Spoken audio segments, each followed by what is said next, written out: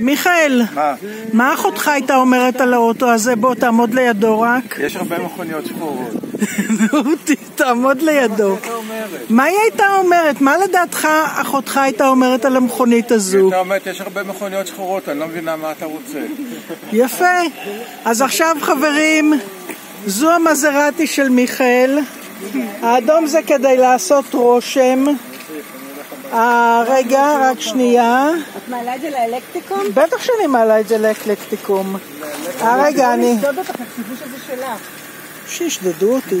זה הסמל. זה הס...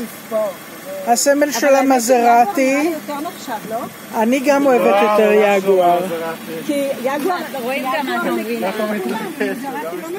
אייל, איך ההרגשה לנסוע במזרטי? לא נסעתי. איך אתה מרגיש לפני שאתה נוסע במזרה? מיכאל! מיכאל, למה, למה החלטת מזרטי? רגע, אני חשבתי, למה בננה עקומה והצנונית אדומה? אז אמרתי, נלך על מזרעתי. יפה, כל הכבוד. זה עולה לאקלקטיקום, בסדר? מה אכפת לי? טוב, את צריכה יאללה. להתבייש בי, לא אני. אני לא מתביישת באף אחד. הנה, אייל מרגיש בבית. אייל, אתה מרגיש בבית? יושב לי המשקפיים, לא? אה, הדלקת את הכל? טוב, יאללה, סעו לשלום, המפתחות בפנים.